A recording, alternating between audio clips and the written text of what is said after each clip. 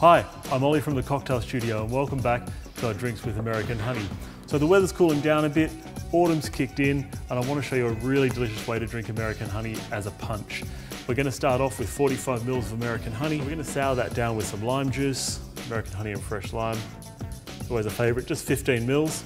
And then also that's some, uh, some pineapple juice I've got here.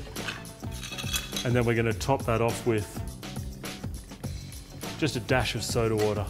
Then an orange wedge, a little bit of fresh lime, and then grate some cinnamon over the top.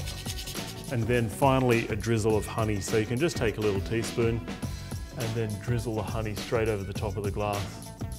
And that is our delicious honey punch. See you next time.